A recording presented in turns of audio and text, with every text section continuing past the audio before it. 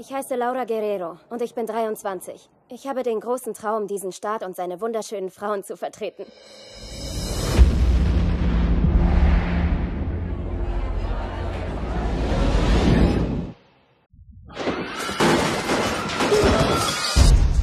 Schießt auf alles, was sich bewegt.